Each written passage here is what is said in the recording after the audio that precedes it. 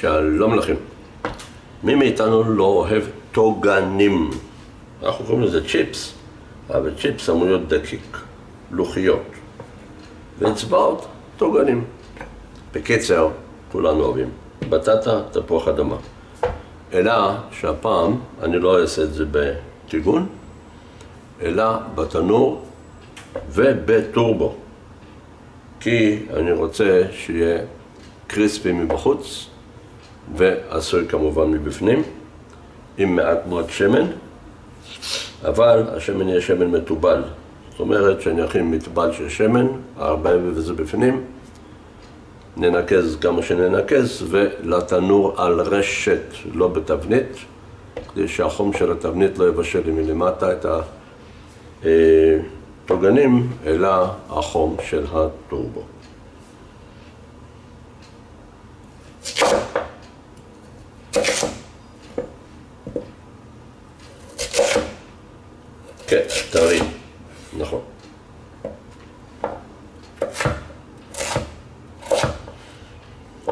זה לא מאסטר שף, ולכן אני לא עושה אותם באותו גודל מבחינת הדופן.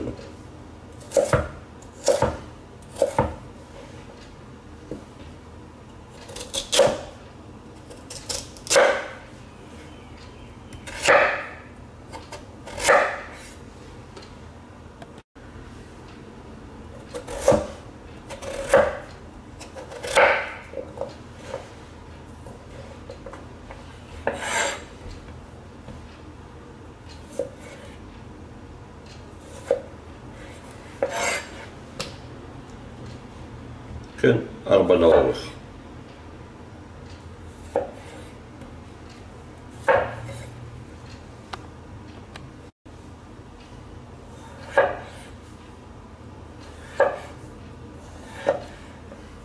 זהו.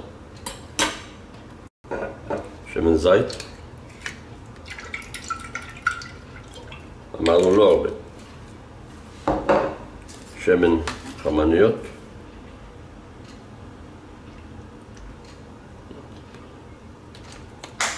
ותבלין קייג'ן.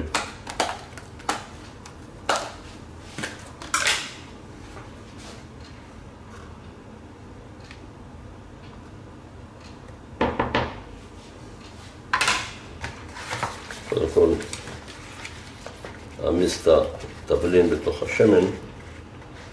כמובן שבחום זה עדיף, אבל גם זה טוב.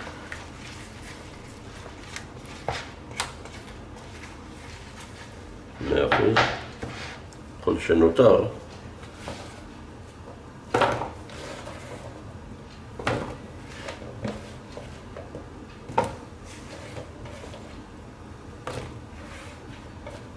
אני במתכוון לא לוקח כלי קשה מכף עץ או מתכת, לא רוצה לפגום בטוגנים. נערבב אותם וניתן לזה קצת לעמוד ושיספח את הטעמים, עוד קצת קייג'ן.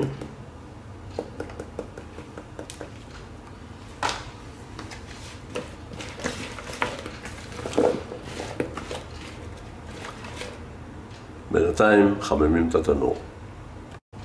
ראשית אני אגיר את השמן דרך המסננת ואחרי זה אני אניח על הרשת, אחרת השמן שיהיה למטה בתוך התבנית יתחיל לעשן ואני לא כל כך שמח.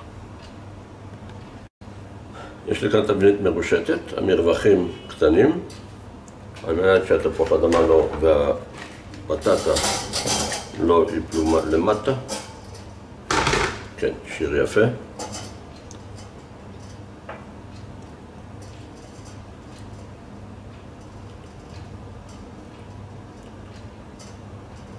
זהו.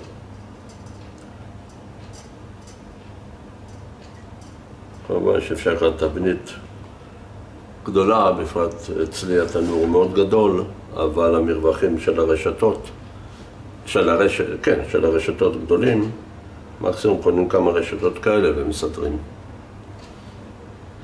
מלמעלה אני זורם מעט מלח אטלנטי. אה, מלח הימאליה. אטלנטי גם טוב.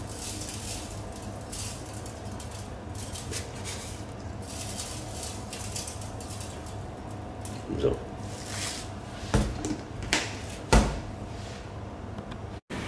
נסדר אותו קצת יותר יפה עם מצבט.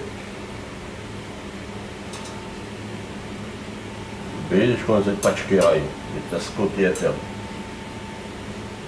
אבל מה שאנחנו מחפשים זה תוצאה סופית.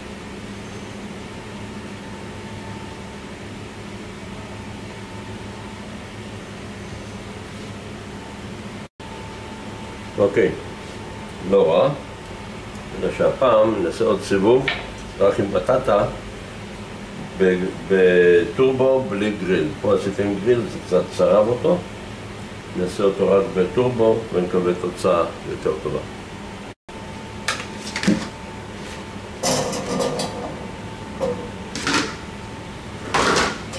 בכמויות אה, קטנות כדי שאוכל להצטרך פחות אם לא יצליח. אוקיי, נכניס עכשיו לתנור על טורבו בלבד.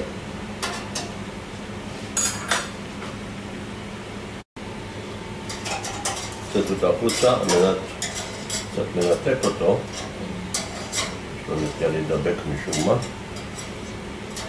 אבל מבחינת הקריספיות הוא על פניו נראה מעולה. זהו, נחזיר אותו לתנור להמשך. זה פשוט לוקח דקות, לא הרבה זמן. אוקיי, אין ספק שהתוצאה היא הרבה יותר טובה. מבחינת הצבע, מבחינת הקריספיות.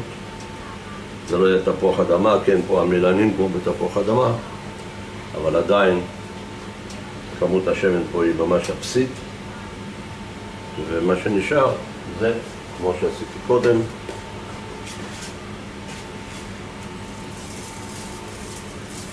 زو اخلا سيابلو